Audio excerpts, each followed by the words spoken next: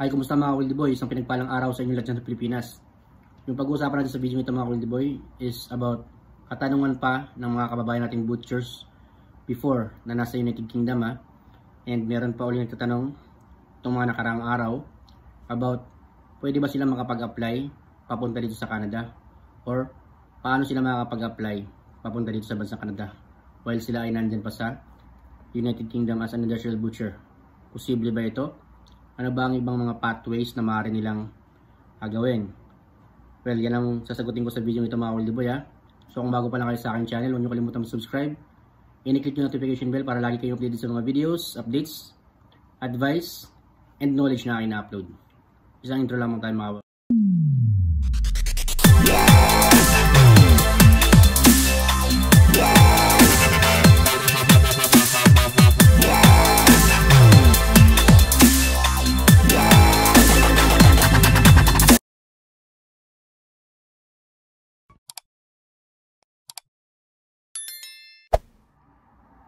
Okay mga Cordy medyo lumalalim na yung gabi. Malapit na mag ano, alas 12. Binuksan ko to guys kasi medyo mainit sa loob. Siya nga pala yung topic natin for today ah, is all about yun nga, katanungan natin kababayan na nasa United Kingdom na paano ba sila makapag-apply dito sa bansang Canada and ano ba yung mga paraan para maging possible ito. Now, disclaimer lang ha, lahat ng mga babanggitin ko dito is based on my experience in my research and syempre to the best of my knowledge. Ngayon, magbibigay ako ng tatlong paraan mga kabayan na or tatlong ways kung paano yan maging possible. Unang-una, syempre through agency. Paano mo gagawin yan? Kinakailangan mong mag-apply sa mga agency sa Pilipinas. And syempre, kinakailangan maging qualified ka. Kailangan nasa sa yung required experience. Just for example, dito sa amin sa Cargill, mag-apply ka sa Magsaysay Global. As much as possible, meron kang dalawang taong experience. And even wala kang SSS, hindi na big deal yan. Meron kang passing scores sa IELTS per category 3.5 reading, listening 4.5, speaking and writing 4. And meron kang tinatawag na Educational Credential Assessment or ECA, Certificate of Employment, video presentation, and syempre kinakailangan mo ipasa yung initial interview, employer's interview, trade test, and syempre physically fit ka, may papasam yung mga medical examinations. Ngayon, yan ay isa sa pamamaraan ha. Ngayon, paano mo gagawin yan habang nasa United Kingdom ka? Pwede ba yan? Of course, pwede. Kinakailangan mo lamang i-timing ang lahat. Huwag ka munang mag-resign basta-basta just in case lang ikaw ay nandyan pa sa United Kingdom at kasalukuyan nagtatrabaho. And never kang magpapaalam sa iyong employer na ikaw ay aalis dahil gusto mong magtrabaho sa ibang kumpanya. Or as much as possible, maghanap ka ng paraan or maayos na way na ikaw ay magpaalam. Okay? Meron kang valid reason but never mong idadahilan na gusto mong lumipat dahil gusto mong makapagtrabaho doon. Well, even though meron naman tayong kanya-kanyang desisyon, payo ko lamang is gawin nating uh, mas reasonable yung ating mga dahilan. Ngayon, ito yung payo ko sa iyo. Uh, ah, halimbawa lamang, kasalukuyan pang uh, umiiral yung iyong kontrata dyan, may advice is ituloy mo lamang muna or tapusin mo. Okay, now, kung sakasakali lang, wala pang uh, hiring dito ha. Just for example, in Cargill. As of now talaga is wala pang uh, balita about sa susunod na pagbalik ng employer from Cargill High River and in Cargill, Ontario. Dahil as much as possible ha, kailangan mo na ma-deploy yung mga selected applicants, especially yung mga na-select bound dito sa aming planta sa Cargill High River. But doon sa Ontario, I believe maaari silang mag-entertain na kasi doon naman ay tuloy-tuloy. Okay? So, okay, balik tayo sa ating uh, topic ha. Ngayon, yun ang gagawin mo. Okay? Kung Cargill, kailangan mo lamang i-timing kung meron ng update about sa job hiring. Ngayon, kung ibang company naman ang target mo, same thing din. Kinakailangan mo lamang alamin kung ano yung requirements, ano yung mga qualifications na dapat mong ihanda. Kailangan preparation muna. Okay? Kinakailangan mo munang i-prepare ang lahat. Planuhin mo muna ang lahat. I-organize mo. Okay? Hindi po pwedeng mag-jump in ka kagad. Gusto mo mag-apply. Pasa mo na. Kailangan mo munang kumpletuhin. Okay? Nang sa ganun maging maayos yung takbo ng iyong pag-apply.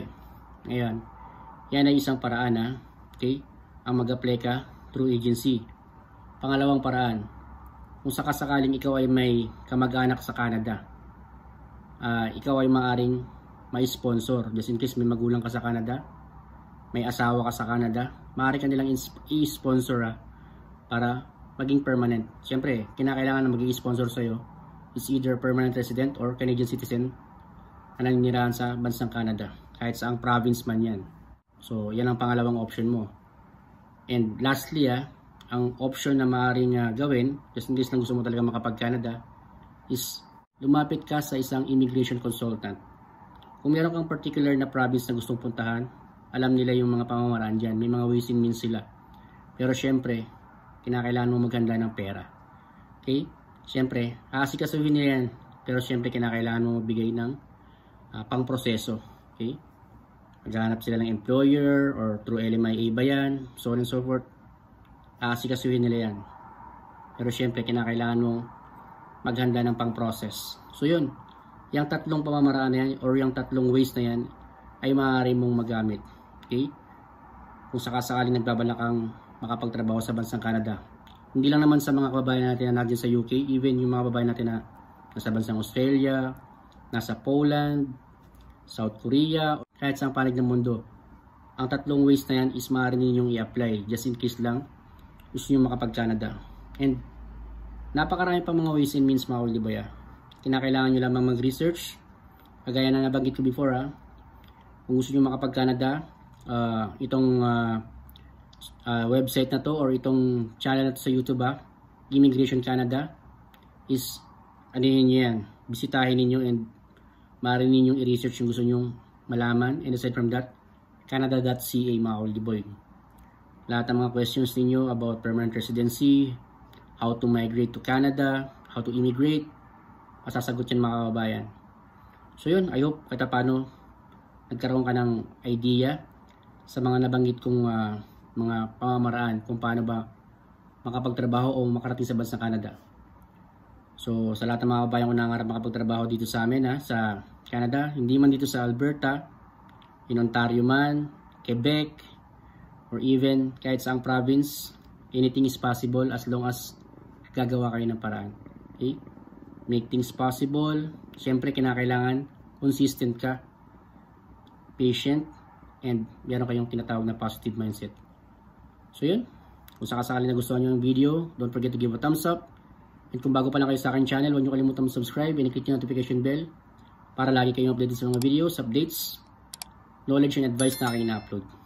Okay? Sa lahat ng mga kabayan ko na nandiyan sa United Kingdom, stay safe and God bless sa inyo mga Kuldi Boy. And even sa lahat ng mga kabayan kong butchers all over the world, kung kayo may pangarap, tuloy lang, keep on pursuing, keep the dream alive, be inspired and be motivated. So paano? Kita-kita sa akin next video mga Kuldi Boy. Stay safe and God bless. Bye bye mga kabayan. Paglilinaw lang mga Kuldi Boy, hindi ko hinihikayat ang mga kabayan natin na nandiyan na sa United Kingdom or yung iba nating kababayan na, na nasa ibang panig ng mundo na mag-apply sa bansang Canada, okay? Sinasagot ko lamang ang katanungan ng ating mga kawildi boy, particularly yung may mga concern na gusto makapagtrabaho dito sa bansang Canada. Well, inulit ko, hindi naman lahat ng mga kababayan natin is gustong uh, mag-transfer dito. Well, uh, just to clarify lang, ang bansang United Kingdom or ang United Kingdom is napaka industrialized na bansa, napakamaunlad na bansa. Maganda ang opportunity, magaganda mga pribilehiyo, health services, education, so on and so forth. So yun, uh, it just happen lang talaga na kinakailangan kong sagutin yung mga concerns ng ating mga world boy. So yun, nilinaw ko lang mga kabayan ha. Okay? Peace out sa lahat ng mga kabayan kong butchers all over the world.